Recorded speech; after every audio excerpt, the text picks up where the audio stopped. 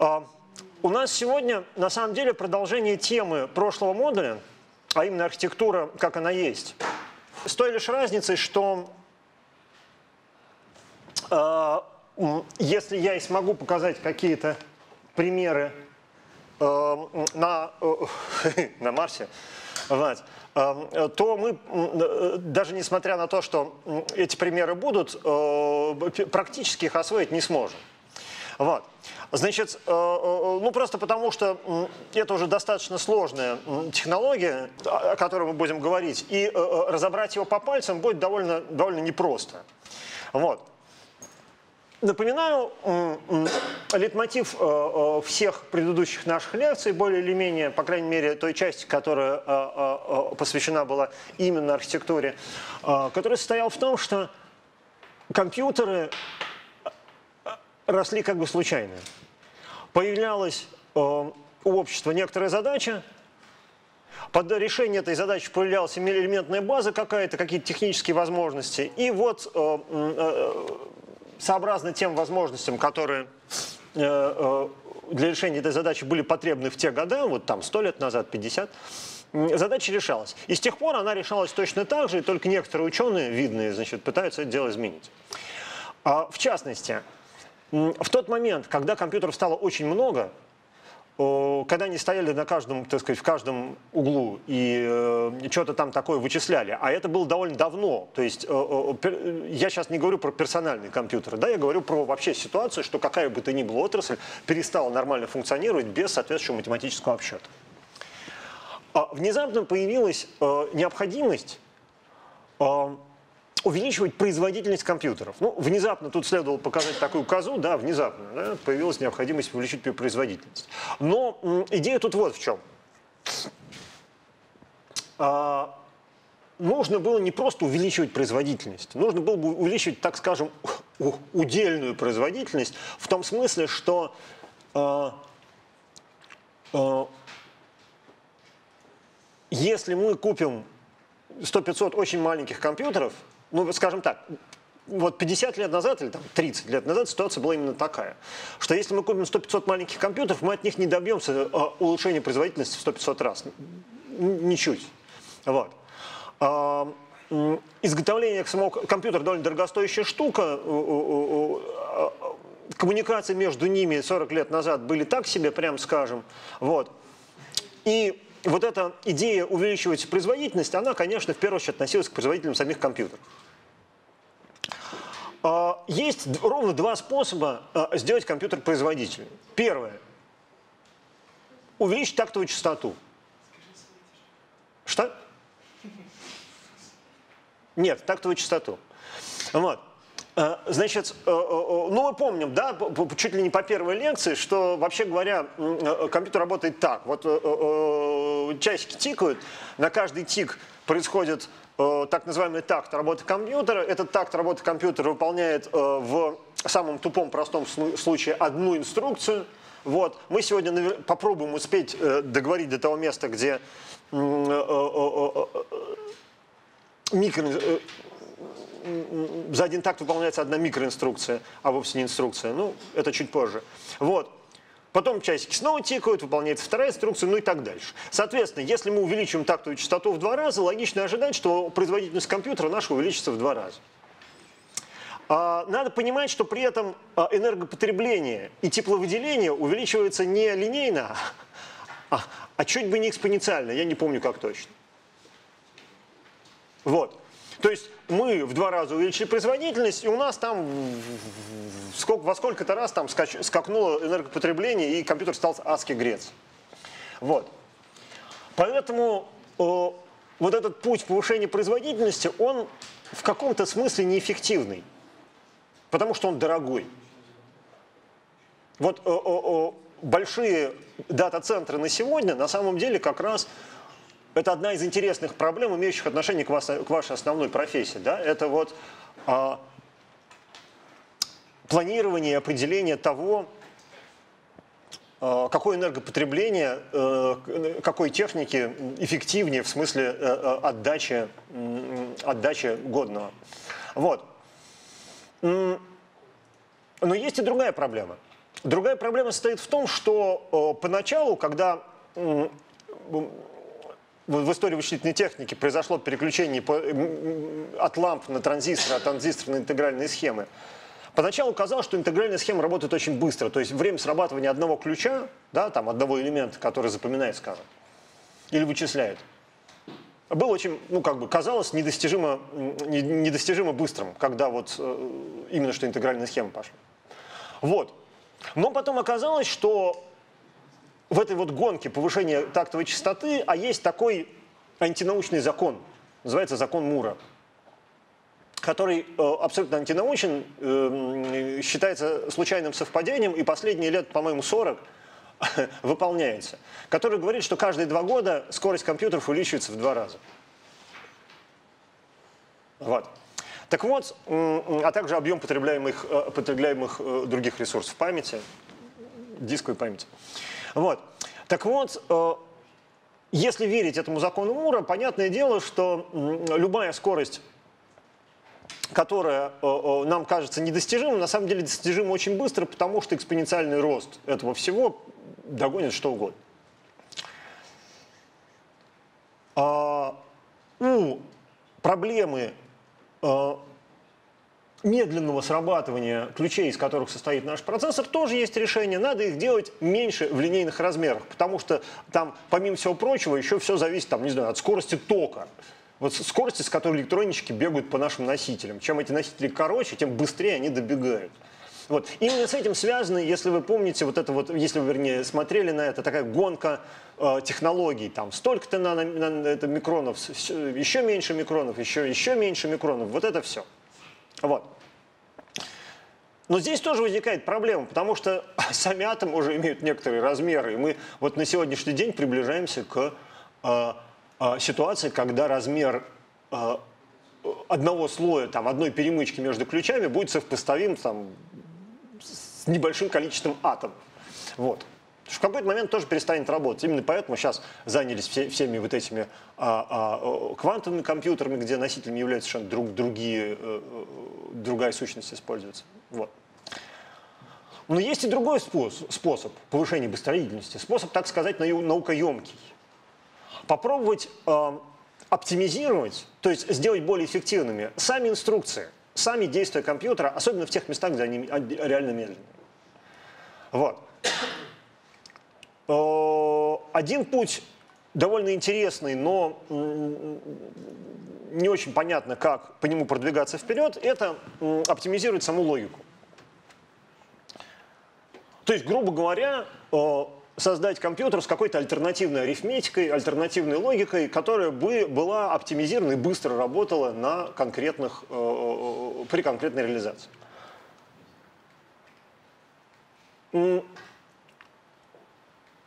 Ну вот я могу привести конкретный пример. Есть такая штука, э, стена памяти. Это, э, представьте себе, помните, у нас вот начало прошлого семестра мы с вами складывали в столбик э, э, число двоичное.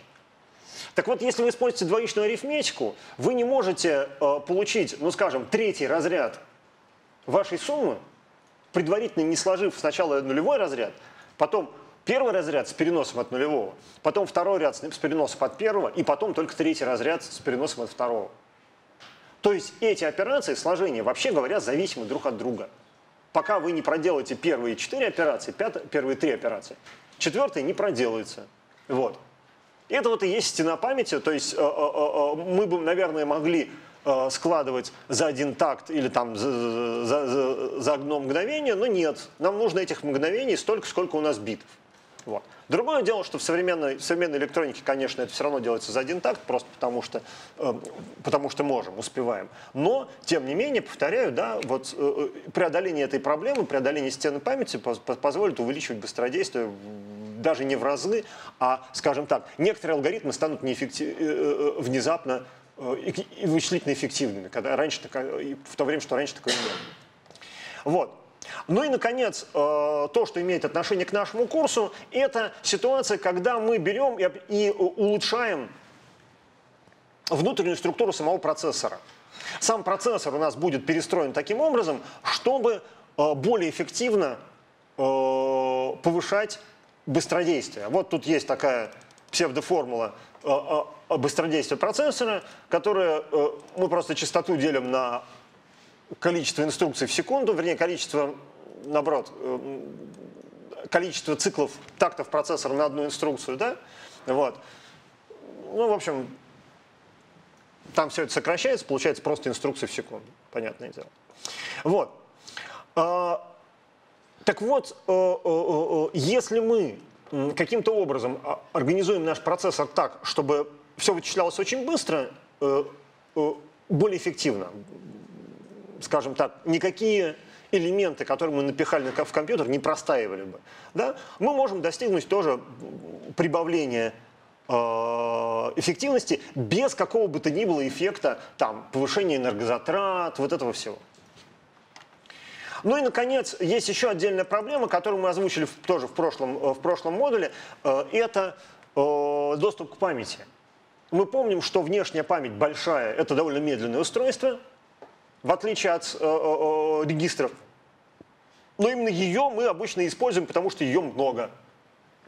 Так вот, э, использование внешней памяти можно тоже как-то так оптимизировать, чтобы она была побыстрее. Тоже, тоже вариант. Да? То есть мы будем повышать эффективность не самого процессора, а его взаимодействия с оперативной памятью. Ну, самая первая идея, которая приходит в голову, давайте мы возьмем и воткнем в компьютер два процессора. Это очень плохая идея, мы о ней, если успеем, поговорим. Да, кстати сказать, она э, настолько плоха, что на сегодняшний день э, все компьютеры устроены таким образом, что в них по нескольку вычислительных ядер. Вот. То есть это очень плохая идея, которую очень дешево реализовать в смысле разработки новых, э, новых э, структур, поэтому она повсюду распространилась. Да? Не найдешь сейчас компьютера, в котором бы вычислительное ядро было одно. Вот. Ну вот, ну правда, не найдешь. Мне интересно, сколько в этом довольно старом компьютере вычислительных ядер. Эм, 4. В смысле, как 4? 4 не может быть. А, да, 4. 4. Ну вот. Э, мы об этом говорить не будем, потому что сейчас, потому что мы себе не представляем того, почему я сказал, что это плохая э, идея. Мы не представляем себе того объема проблем, которые мы огребаем, когда э, добавляем в наш компьютер отдельный, изолированный второй, третий, четвертый вычислительный узел. Вот. Поэтому давайте э, э, слегка упростим нашу задачу и попробуем, попробуем э, умножить, то есть размножить не э, э, процессоры внутри компьютера, а те устройства, которые вычисляют. Ну, какое устройство у нас главное? Арифметика, логическое устройство, которое, собственно, занимается вычислением вот, э, всех реальных действий над данными, да, будь то арифметическая операция, логическая операция, операция над адресами, э, ну, короче говоря, производит вычисления. Вот. Э, прежде чем принимать решение о том, что мы хотим э, распараллелить вычисления, ну то есть сделать так, чтобы у нас было несколько устройств, которые вычисляют одновременно, давайте подумаем, какие могут быть, какие нас ждут грабли. Вот. А, а, а, на этом пути.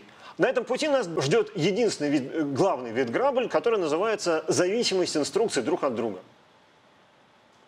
Зависимость инструкции – это очень простая штука. Например, зависимость по данным – это ситуация, когда у нас вторая инструкция использует Э, данные, которые вычисляет первая инструкция. Это значит, что эти две инструкции параллельно мы выполнить не можем, потому что сначала должна выполнить инструкция 1. Ну вот, например, мы добавляем в шестой регистр э, пятый регистр и четвертый регистр. А потом берем и этот э, шестой регистр сдвигаем на два битика. Вот пока шестой регистр не будет готов, эта операция не сможет работать вообще. Потому что нам нечего сдвигать пока что мы не сможем параллельно выполнить эти две инструкции. Между ними зависимость по данным, а именно э, регистр 6. Вот здесь он приемник, вот здесь он источник. А, такая же штука относительно а, а, зависимости по данным, находящимся в памяти. Вот мы положили из регистра Т2 в память, вот мы вынули из того же места в память, положили в регистр Т3. Понятное дело, что мы не сможем эти инструкции выполнить параллельно, потому что до тех пор, пока мы что-то не положим в память, мы не сможем оттуда это взять. Дополнительно, э, если говорить про МИПС, э, инструкции, которые э, занимаются памятью, ну точнее псевдоинструкции, они еще и могут использовать регистр АТ. Помните, вот, например, вот такая инструкция точно использует регистр АТ, потому что нам нужно как-то вот этот адрес заложить в какой-то регистр, и этот регистр – это регистр АТ. И, соответственно, занятость регистра АТ в этих двух псевдоинструкциях тоже может привести к тому, что между ними будет зависимость по данным, а именно данным, которые лежат в регистре АТ. Еще один вид зависимости по данным вылезает у нас, когда мы используем косвенную адресацию. Да, в этом смысле нам э, проблема состоит не в том, что мы не можем воспользоваться содержимым Т4, э, ну, на самом деле и в этом тоже. Но более того, мы не знаем, что попадет в Т2, потому что мы не знаем, что лежит в Т4. В Т4 лежит адрес. Вот пока мы этот адрес не прочтем, в Т2 ничего не попадет. На самом деле вариантов э, зависимости по данных очень много. Вот. Это все зависит от конкретной архитектуры вычислительной системы, от конкретного набора команд, от того, как эти команды реализованы, ну и так дальше. Если мы успеем, мы сегодня увидим, как один из видов зависимости по, данных, по данным э, в МИПСе таким жульническим способом разрешается. Но помимо зависимости по данным, есть еще зависимость по выполнению. Это ситуация, когда мы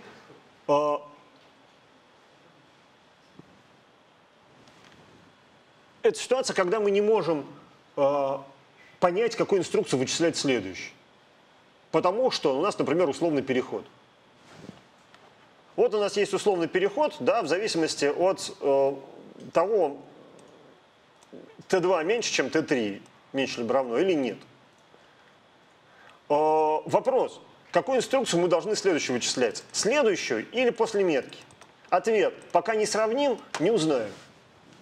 Это означает, что никакого параллельного выполнения этой инструкции и какой-то еще мы не можем даже себе и вообразить, если не предпримем каких-то шаманских действий. Вот. Та же, та же самая история при э, переходе э, с косвенной адресацией. Да? Вот у нас есть э, наш любимый э, э, возврат из, функции GRRA, да?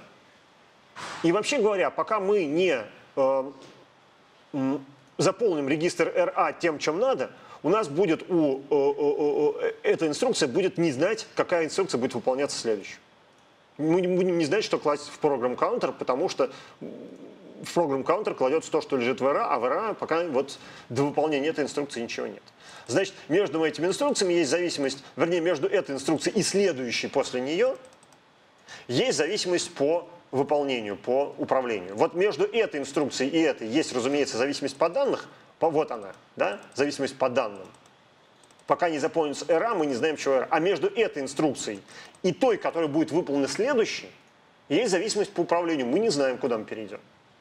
Разумеется, никакого, никакой серебряной пули, как избавиться от э, зависимости инструкций, нету.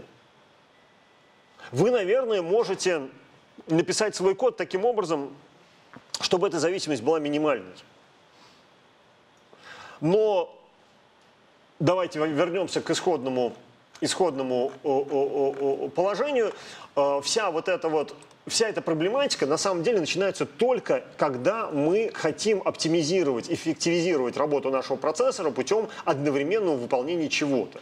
Вот все одновременное, а, тут где-то я, да, вот, все одновременное не может быть одновременным до тех пор, пока мы Э, пока, это, э, пока инструкции в этом одновременном выполнении зависимы друг от друга. Сначала, тогда они будут выполняться не одновременно, а последовательно.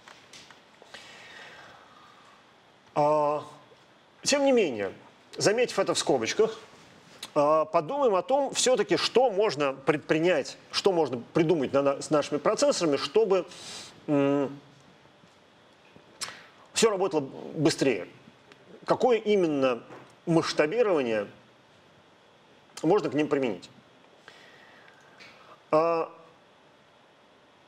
самый простой способ, простой в смысле именно аппаратного исполнения, взять, у, у, у, увеличить, удвоить, упетерить, увосьмерить, там, не знаю, у 128 а, количество вычислительных устройств, то есть тех устройств, которые складывают, а также вычитают, умножают и так дальше. и научить процессор выполнять так называемые векторные операции. Векторная операция – это когда одна единственная инструкция может работать с данными э, достаточно большой, ну или, так скажем, переменной длины. То есть, с одной стороны, у нас, э, да, скажем, операция сложения, но эта операция сложения не над машинным словом, а над, ну не знаю, там, 128 машинными словами. Вот. Это довольно легко сделать, просто напихать в наш э, процессор 128 этих самых э, арифметико-логических устройств и э, э, сделать возможным э, сделать, конечно, специальные такие векторные регистры, в которые можно будет эти самые данные складывать. Вот. И тогда наше вычисление будет состоять в том, чтобы набиваем эти векторные регистры, потом дергаем ручку, и у нас, э, и у нас э, э, э, это сложение выполняется внезапно за один такт, потому что его делают сразу там 128 или сколько-то там э, э, э, складывателей. Вот.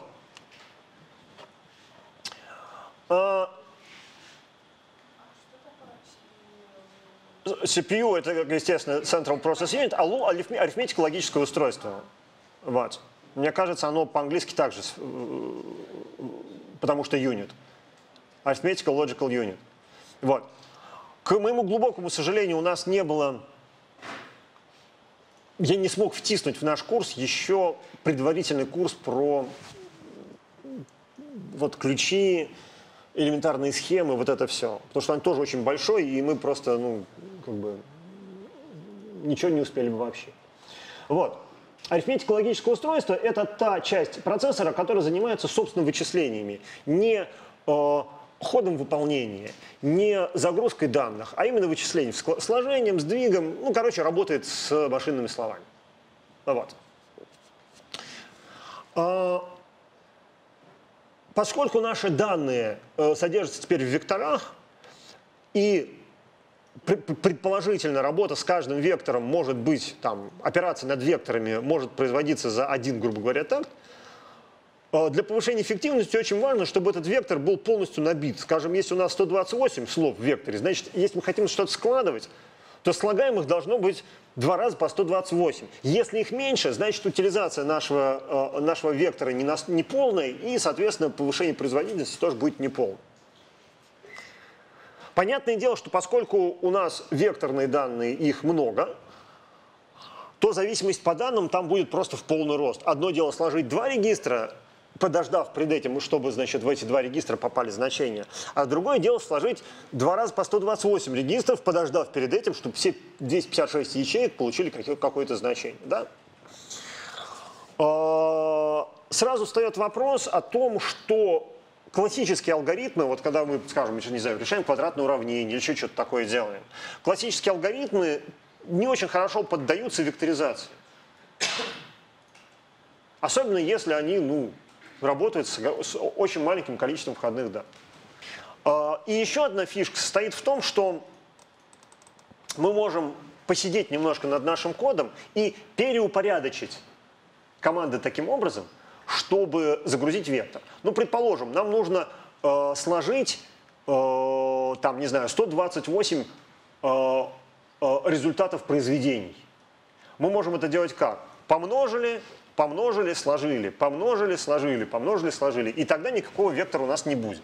А можем сделать по-другому. Можем загрузить 128 э, э, сомножителей в первый векторный регистр, 128 в друг, во второй.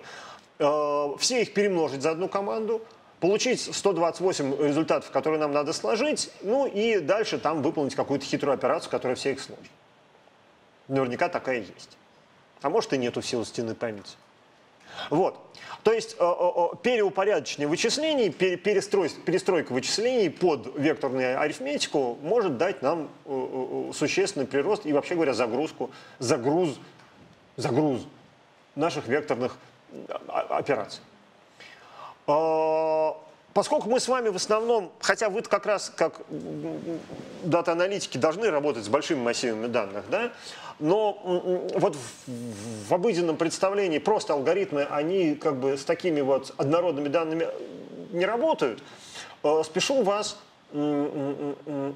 уверить, что на самом деле алгоритмов в, в окружающем мире, которые работают с однородными данными и делают над ними однородные операции, очень много. В первую очередь, всякой мультимедиа.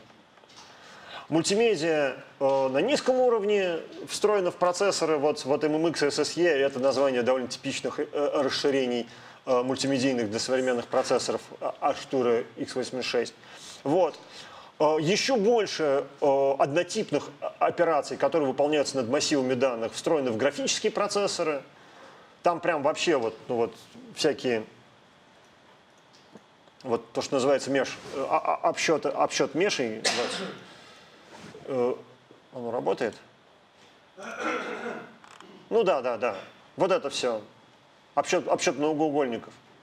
Вот звуковой процессинг. Короче говоря, всякий раз, когда нужно обрабатывать потоки однотипных данных, возникает необходимость в векторных операциях. Так что в современном мире очень много э, э, процессоров и специализированных процессоров умеют векторы. Что еще можно придумать, когда мы говорим про векторные операции? Можно, например, э, вот это переупорядочивание поставить на поток, взять текст на ассемблере, проанализировать его на предмет того, где там зависимые друг от друга инструкции, а где нет, потому что зависимость по данным, например, мы всегда можем поймать. Да? Зависимость по данным означает, что один и тот же элемент участвует в качестве э, приемника в одной инструкции, в качестве источника в другой. Вот вам зависимость по данным. Да? Так вот, э, э, пере оптимизировать код таким образом, чтобы э, э, мы загружали по максимуму наш вектор независимыми данными, потом одной командой э, эту операцию выполняли, и потом дальше эти данные раздавали. Еще более хитрая штука, которая в действительности практикуется на всех современных процессах, это оптимизация на лету.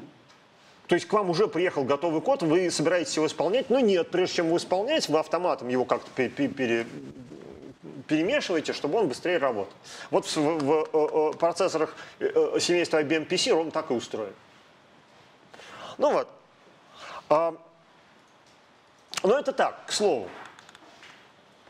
Есть более универсальный метод, который назван суперскалярными операциями, когда мы не одинаковые инструкции над пачкой данных выполняем, а вообще каким-то образом перепроектируем наш процессор так, чтобы можно было Э, несколько инструкций выполнять в одно и то же время.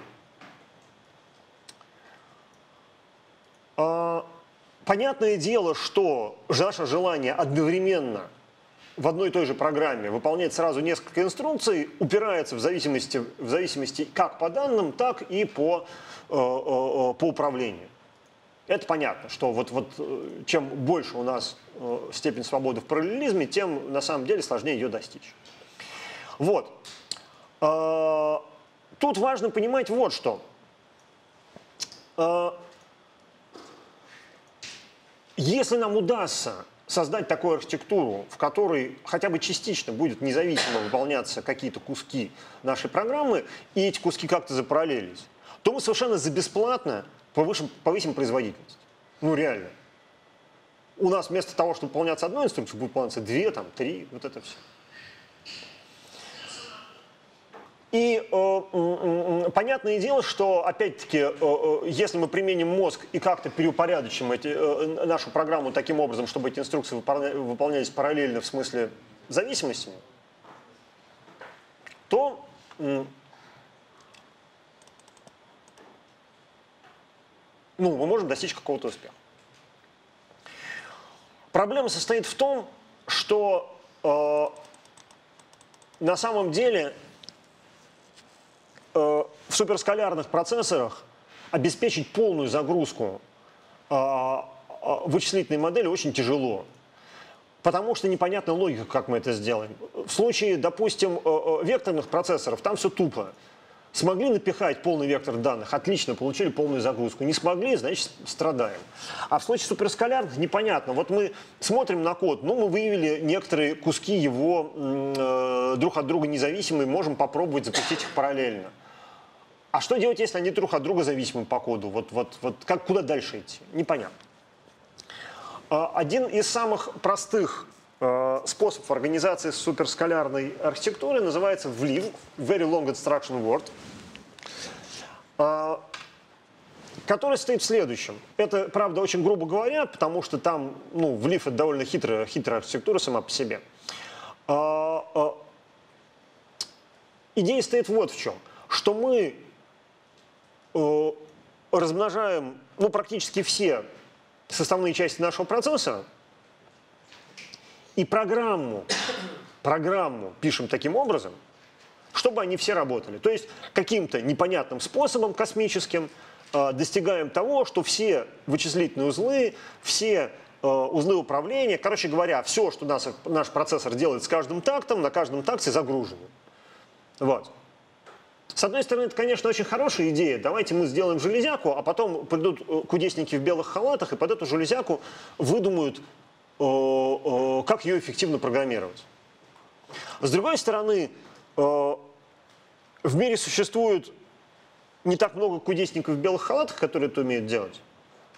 И еще меньше компиляторов из языков программирования, которые умеют генерить код, эффективно выполняющийся в лиф-инструкциях. Как правило, Э, в лиф-архитектуры, они либо э, вы всегда жертвуете э, вот этим идеальным приростом производительности, получается такой средненький, вот, либо там нужно прям посидеть, вот, придумать алгоритм, который задействует все вот это, и этот алгоритм, значит, оформить в виде библиотеки и всегда его использовать.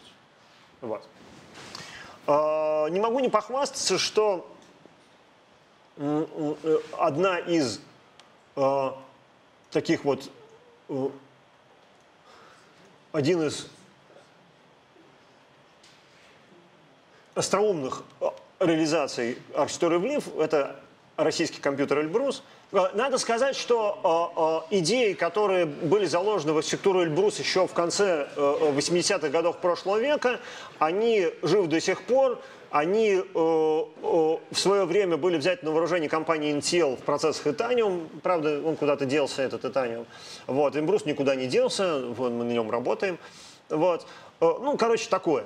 Э, очень древние суперкомпьютеры тоже были супер влив, э, самый-самый древний там вот в 60-х, 70-х годов.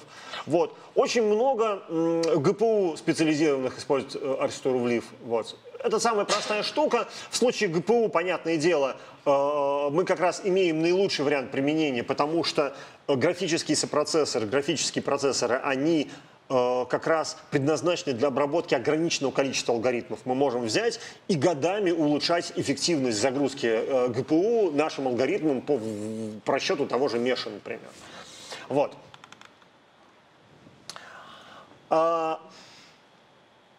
Что еще нам может помочь в э, эффективной загрузке нашего многокомпонентного процессора? Например, упреждающее вычисление. Упреждающее вычисление – это э, э, такой способ выполнения программы, когда мы вычисляем сразу несколько инструкций параллельно. При этом не только э, в параллель, если между ними нет зависимости, но даже если зависимость есть по управлению, если у нас есть свободный вычислительный узел, пускай он вычисляет вот этот кусок программы. Потому что если вдруг в результате, помните, что такое зависимость по управлению? Да? Это значит, что мы не знаем, куда перейти, на ветку true или на ветку false. Давайте вычислять сразу обе ветки, true и false, если у нас есть два вычислительных узла. А когда мы перейдем на одну из них, там уже будет все готово. Ну, а, а результат вычисления второй просто выбросим. Это лучше, чем сидеть на точке ветвления и ждать, пока принято решение, и потом запускать вычисление с нуля. Вот. А, а, правда, это требует дополнительных архитектурных излишеств. Например, э, у вас две ветки заполняют одни и те же регистры. Значит, когда вы параллельно вычисляете две ветки выполнения, у вас должно быть два разных набора регистров. И после того, как будет принято решение, какая из веток правильная, этот, вот тот набор, который использовал эта ветка, будет объявлен истинным. Вот. То есть там какая-то такая начинается мания.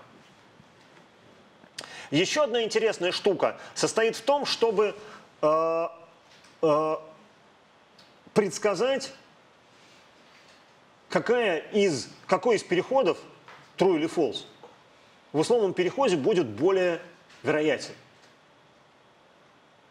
Вот. Зачем это нужно? Чтобы вот этих э, э, выбрасываний ненужного кода было как можно меньше. Или, например, у вас нет настоящего упреждающего вычисления, вы не можете в параллели вычислять две ветки. Тогда вы делаете что? Тогда вы вычисляете одну ветку, ту, которая наиболее вероятная, упреждающая.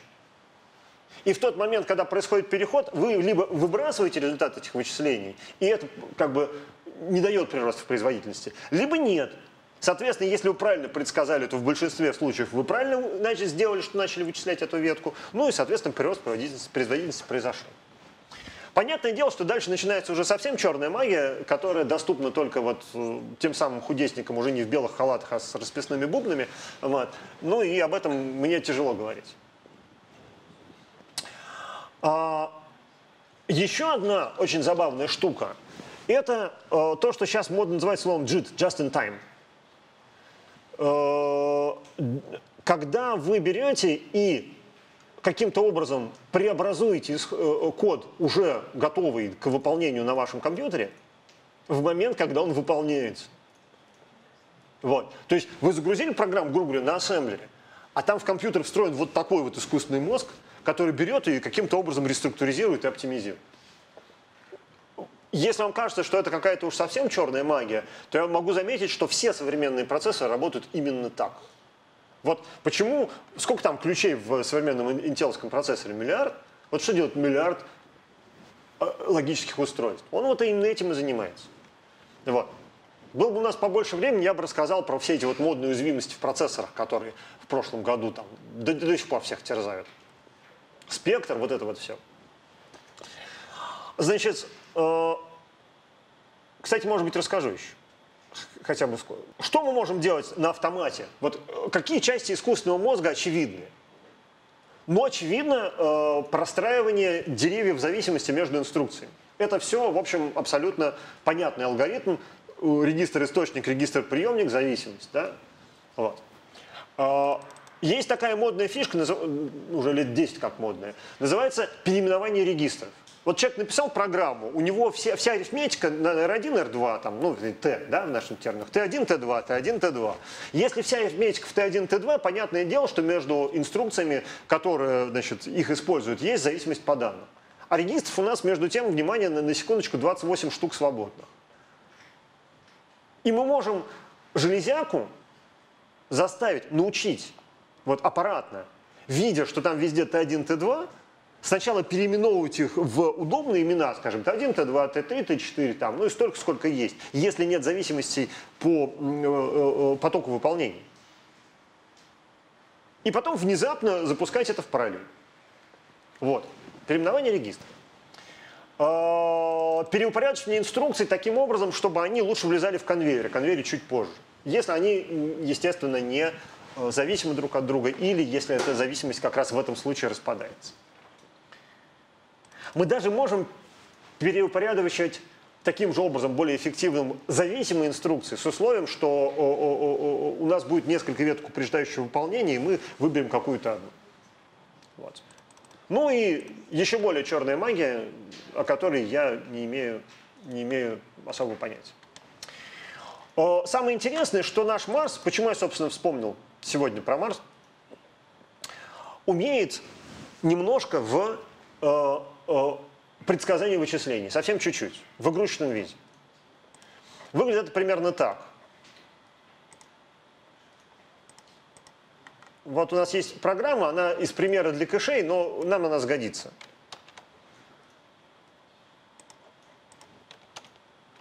Вот.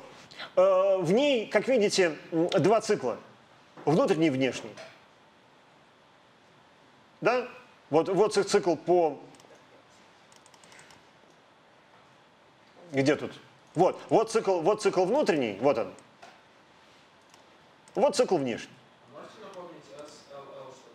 Shift Logical Left. Умножение на 4 в данном случае. Помните, оно часто встречается в программах, когда вам нужно адресовать ячейку памяти, у которой размер э, э, 4 байта. Вот. Ну, собственно, Ну, такая программа. Ну. Вот. Но если мы сейчас ее скомпилируем,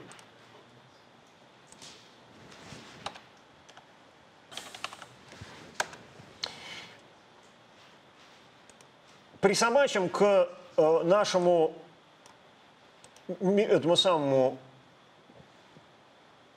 где он тут называется-то? Самый верхний, БХТ-симулятор, да, спасибо. Вот. И запустим. А, надо было присобачить. О, то мы увидим следующие данные, что у нас есть э, 16 каких-то ячеек, э, которые, э, две из них, вот это и вот это, соответствуют, соответствуют э, какому-то переходу. Вот. Ну, в частности, вот этот вот э, э переход назад, э, э, вот этот соответствовал в ячейке номер 13. И э, у нас было 9 переходов, э, э, сейчас не так, что тут not take. У нас было предсказано, мы, мы решили предсказать, что будет переход неверный, вот, и 9 из них действительно были неверных, а 2 верных. Вот э, эта ячейка соответствует какому-то другой строке. А, вот этой тут вот написано. Да? Э, соответственно, у нас было 42 предсказания, что переход верный, и 20, э, не так, э, мы предсказываем, что будет prediction наш, что not take, что перехода не будет. В смысле, условно, на другой адрес. И 42 раза мы это предсказали правильно, а 22 раза, раза предсказали неправильно. Вот частота предсказаний. Соответственно, если бы к этому еще прилагался какой-то какое-то упреждающее вычисление или хотя бы э, какой-то какой предварительной загрузкой инструкции, то мы бы в 65 и 81% случаев, соответственно, повысили бы эффективность работы нашей программы просто потому, что у нас... А, тут еще History 2. Давайте вот попробуем History 2. Значит, Просто потому, что у нас, сначала про History 1, просто потому, что у нас э, мы посчитали количество предсказаний и вот... А, нет, мы ничего не считаем, прошу прощения. Мы сохраняем предыдущее. И даже в этом случае у нас некоторая эффективность налицо. Если мы начнем хотя бы э, э, э, на предсказатель, мы ничего не считали, да, мы просто говорили, прошлый раз не перешел, значит и в этот раз не перейдет. Почему, кстати, это эффективно? Это эффективно, потому что цикл у нас так устроен. В прошлый раз не перешел, и в этот не перейдет, и в следующий не перейдет. И только под конец, когда условия изменятся, он перейдет в другое место. Вот. А, еще более эффективно, если у нас предсказатель глубины 2. То есть мы запоминаем два последовательных э, решения. То есть вот в прошлый раз не перешел, в этот раз не перешел, но в следующий раз уж точно не перейдет. Вот, видите, глубина истории 2. Кстати, вот здесь вот эффективность повысилась, а здесь нет. Понятно почему. На внутреннем цикле у нас э, стало больше ситуации неопределенности, когда он то ли перейдет, то ли не перейдет. Нам нужно, чтобы их было два для того, чтобы принять окончательное решение. А вот на внешнем цикле эффективность повысилась аж до 80% без малого. Соответственно, э, э, э, ничего больше Ничего больше у нас не умеет наш Марс делать, кроме того, что здесь написано, но и этого уже, как видите, хватает для того, чтобы это самое предсказание работало довольно хорошо. Да? Напоминаю, дело в том, что это цикл. Цикл вообще в принципе так устроен, что он n раз переходит в одно место и только на n плюс первый раз переходит в другую. Вот. Вот в расчете на цикл это все и делается. Такие дела. А, Ну и, пожалуй, самая интересная часть того, о чем мы сегодня говорим, и самое сложное, это такой способ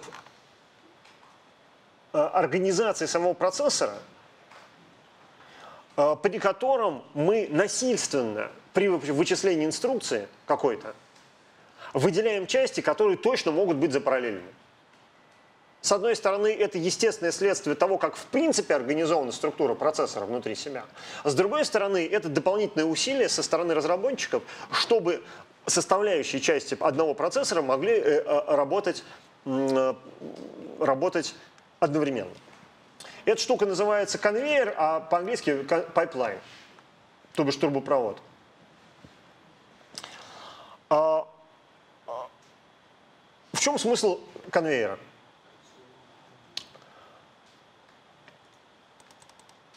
Если мы спускаемся еще на один уровень ниже, на так называемый микропрограммный уровень, когда каждая инструкция представляется нам последовательностью действий, каждая из которых выполняет отдельный элемент процессора.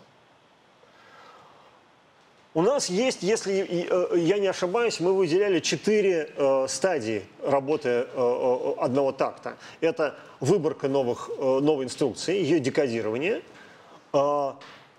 вычисление и раскладывание результатов обратно. А, нет, еще получение данных. Пять.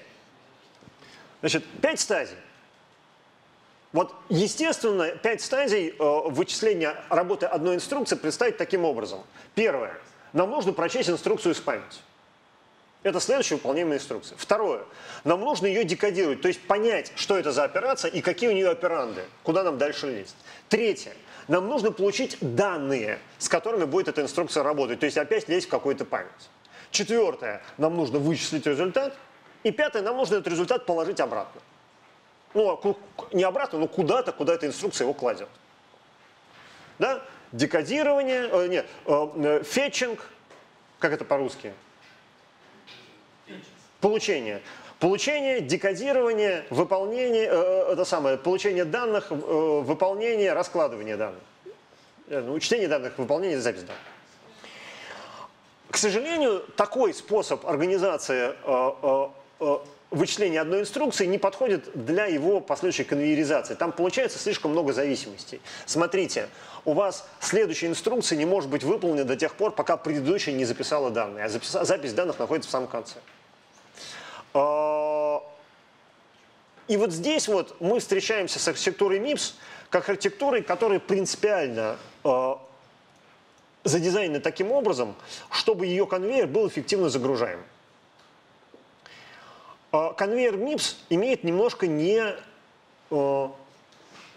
интуитивно непонятный порядок. Ну, начинается все, конечно, с фетча. Да? Это так называемая стадия И, получение инструкции. Понятное дело, что без нее никак. Следующая стадия – это стадия декод, которую тоже, от которой тоже никак нельзя э, э, избавиться, потому что мы прочитали инструкцию с памяти, теперь надо понять, какой код операции и какие у этой операции операнды. А вот дальше начинаются мелкие чудеса. Например, а, на этой же стадии мы заполняем так называемый регистр-блок. Регистр-блок – это часть процессора, в котором лежат данные, взятые из нужных нам регистров. Потому что все регистры тяжело брать, там, по ним нужно еще какую-то индексацию делать. Вот регистр-блок, там, три, два, максимум два операнда. Вот эти максимум два операнда заполняются. И это происходит параллельно с декодированием. А, именно поэтому у нас а, инструкции, допустим, а, которые работают только с регистрами, все имеют код операции 0. Почему? Потому что у нас вместо двух шагов проверить код операции и на основании того, какой этот код операции, попытаться взять откуда-то операнды. Получается один шаг с копеечной нагрузкой. Мы, видя инструкцию типа 0, не выполняя операции сравнения, просто видя, что все нули. Немедленно лезем за нужными регистрами на одном и том же шаге. А видя, что там не нули, начинаем как-то вот, э, значит, э, уже декодировать и выяснять, какие на самом деле данные для данной инструкции нужны. Вот. Поэтому э, э, э, чтение, заполнение регистр блока, то есть чтение из регистров, происходит прямо на стадии декодирования мы увидим одно важное место, надеюсь, что увидим, если не увидим, я, я, я расскажу отдельно, по которому на самом деле это недостаточно эффективный алгоритм, нужно еще одно кое-чего. Вот. Ну, в общем, на этой стадии мы декодируем инструкцию, параллельно заполняем, э, э, э, получаем нужные данные для следующей стадии execution, то бишь вычисления, где мы, собственно, напрягаем наше арифметико-логическое устройство, или сопроцессор, или еще что-то. Короче говоря, заставляем работать.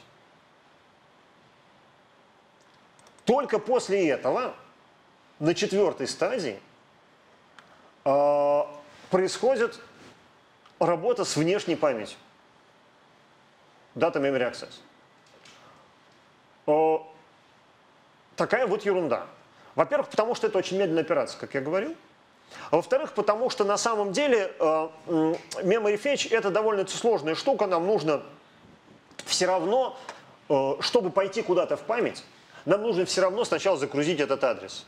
То есть э, вот, вот, вот, вот на, на, этом, на этом этапе мы еще не знаем, куда нам в память идти. Вас. А, ну и, наконец, э, все записать обратно. Это вот последняя стадия. Мы получили результат. Э, этот результат должен быть разложен по регистрам соответствующим. Напоминаю, что э, в МИПСе все операции значимые, они делаются только на регистрах, а память имеет только два вида – записать и прочитать. Вот. И дальше мы возвращаемся к, к шагу номер один. Кстати сказать, Э, вычисление не следующего адреса э, происходит как раз на шаге 2, на шаге декод. Вот. Ну, потому что там все просто. Надо прибавить 4 и, или, или, или э, найти следующий адрес. Тут пропущено слово not. Наверное, это не очень хорошо.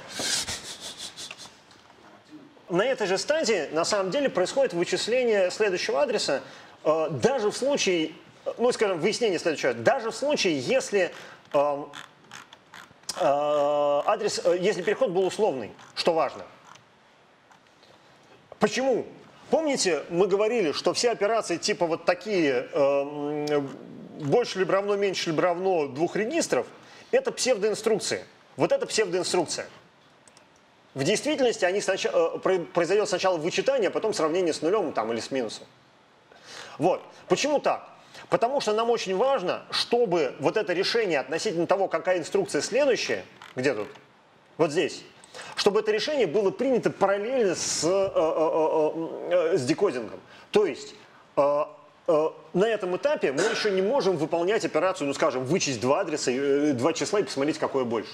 Потому что это, извините, дело арифметико-логического устройства. А вот проверить на ноль мы можем всегда. Или проверить знаковый бит мы можем всегда. Именно поэтому в МИПСе э, в основном instruction set нету э, сложных инструкций перехода, типа там один регистр больше либо равен другому. А есть всегда сравнение с нулем э, на, на больше-меньше или сравнение на равенство. Проверить на равенство просто, что все битики равны, тоже можно за, за, за один присесть. Там нету ни стены памяти, ни, ни работы арифметика логического устройства. Такие дела. Именно поэтому э, э, э, мы можем это сделать тоже на этапе декодирования, и к этому моменту мы уже знаем адрес следующего, следующей инструкции. Вот. Вот такой порядок стадий. И вот, допустим, код. Кстати, обратите внимание, в этом коде э, операция load word разложена на две, да, lu и lv. Если этот код выполнять на современном мипсовом процессоре, получится так. Шаг первый. Мы фетчим инструкцию Луи. Шаг второй. Мы декодируем инструкцию Луи и фетчим инструкцию ЛВ. Шаг третий. Мы выполняем инструкцию Луи, чтобы там ни было, там, кстати, ничего не нужно выполнять. Декодируем инструкцию ЛВ и фетчим инструкцию SLL. Шаг четвертый. Мы э, э, э, идем к памяти, как тут и написано. Выполняем инструкцию LV, декодируем инструкцию SNL, фетчим инструкцию A. Ну и так дальше. Вот тут есть примерчик. Плохо видно. Сейчас попробую сделать погромче. Не, не всегда успеет. Мы сейчас это увидим. Да, именно так. То есть э, в идеале мы можем загрузить конвейер этот по полной. В неидеале возникают так называемые пузырьки, то есть места зависимости между инструкциями, где мы ничего не можем сделать, пока предыдущая инструкция не, не, не довыполнится. Все правильно. Вот смотрите, это э, такой примитивный э, аналог MIPS, э, так называемый Basic MIPS, в котором э, кое-какие э, э, оптимизации еще не сделаны, потому что написано на JavaScript и работает прямо в браузере. Вот. Ну, это какая-то программа на каком-то мипсоподобном ассемблере. Э, для нас, собственно, не очень важно. Для нас важно, как это все работает. Вот смотрите, сейчас будем пошагово проходить. Шаг первый. If – это instruction fetch. Вот мы зафетчили инструкцию LA, которая на самом деле превращается в Луи, да? Шаг второй. Э, Луи перешло в стадию decode, а мы фетчим инструкцию ORI, которая является второй частью инструкции LA. Да? Тут, их, тут их две, это псевдоинструкция. Шаг третий. Да? Мы фетчим инструкцию AND, выполняем инструкцию LUI и декодируем инструкцию OR Шаг четвертый. Мы фетчим инструкцию SV, которая э, является раскрытием макроса push. Да? Декодируем инструкцию add, исполняем инструкцию OR, которая является второй частью от э, а, разворачивания LA. Наша инструкция Луи работает с памятью, вот, а тут ничего не происходит. Ну и вот и так дальше. Вот видите, цветными, цветными маркерами обозначено, какая инструкция находится в какой стадии, включая псевдо, а справа написано, какой конкретный код в данный момент выполняется на какой стадии. Вот, обратите внимание, мы вот здесь где-то дошли до... А,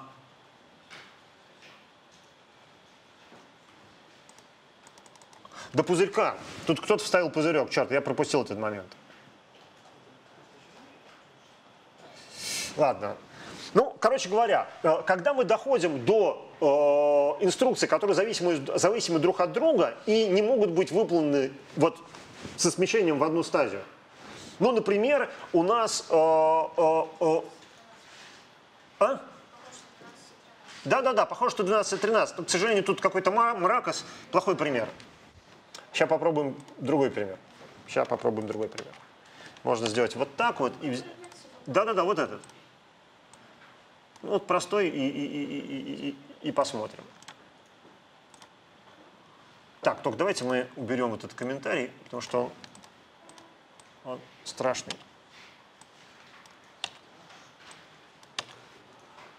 Че-че-че-че-че. А, вместе со словом pseudo-instruction. О! Все, первый шаг Луи. Второй шаг ЛВ. Третий шаг – SLL. Четвертый шаг – ад.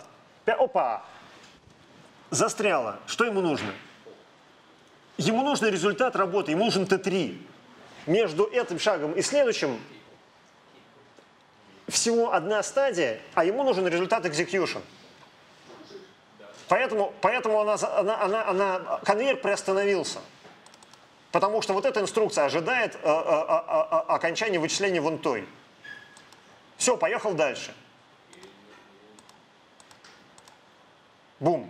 Опять остановился, потому что вот здесь вот у нас АТ и вот здесь у нас АТ. Зависимость по данным между соседними инструкциями. Такие дела. Вот. При этом обратите внимание, как поступает конкретно этот эмулятор. Он берет и вставляет в поток вычислений так называемый пузырек. Вот он. Это ноль. Что? Да, да, да, да, да. Вот, вот он туда автоматом вставляется в, те, в тех случаях, если мы понимаем, что у нас между инструкциями зависимость, конвейер э, как бы э, э, не загружен, но что-то туда надо помещать. И туда помещать инструкции ничего не делать. Такие дела.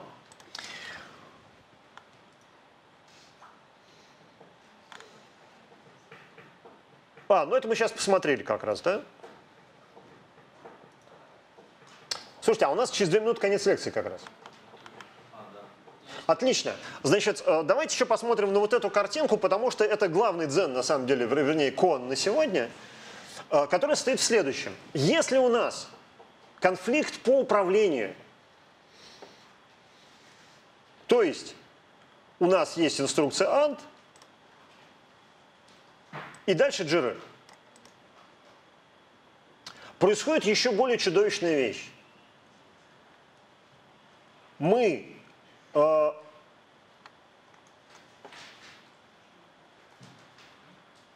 допустим, мы э, э, э, э, только что зафетчили инструкцию э, GRR. Вот эту инструкцию мы сейчас декодируем.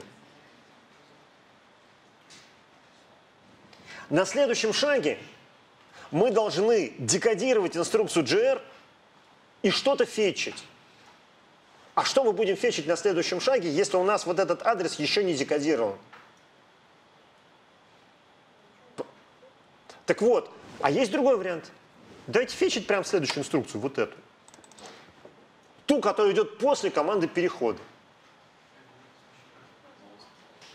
Она зафетчится, она выполнится. Вот. И получится такой немножко такой вот порядок э, исполнения, когда инструкция, которая следует за командой перехода, вычисляется всегда тоже.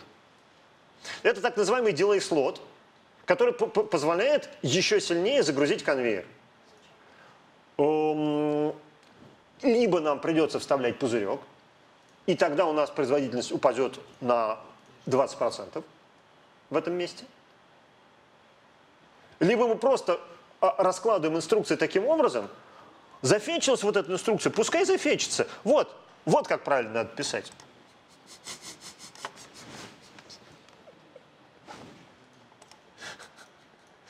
Выглядит совершенно дико.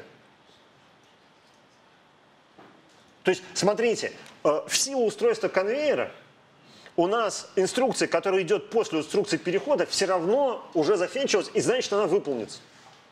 Ну и хорошо, давайте помещать туда такую инструкцию, которая должна быть выполнена перед инструкцией перехода. Вот. В общем, MIPS э, э, уже лет 30 существует в таком виде.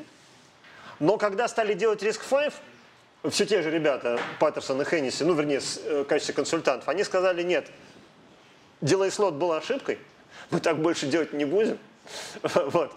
Так что, пожалуйста, делайте что-нибудь другое. Вот. Тем не менее, э, все современные MIPS-процессоры, мы, может быть, на практике это посмотрим, если не сейчас, то в следующий раз, э, так умеют, и, и, даже, и даже так умеет Марс. У Марса есть кнопочка, сейчас ее покажу, и на этом мы закончим. У Марса есть кнопочка, которая называется э, delayed, delayed branching, которая эмулирует вот эту ситуацию, что у нас инструкция следующая за инструкцией перехода, поскольку она уже зафетчена, все равно, все равно обязательно выполняется. Вот. Ну, времени у нас больше нету, я, у меня было в планах показать, как это Марс делает, но, в общем, вы меня понимаете. Напоминаю, что это совершенно противоестественное